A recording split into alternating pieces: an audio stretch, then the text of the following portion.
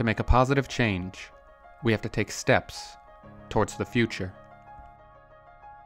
Once a precious commodity, it should have been for all, an ideal for the masses. To make healthcare affordable and widely available, the Affordable Care Act. Continuing to bring peace of mind to everyone and those they love. Addressing the concerns we face in this life.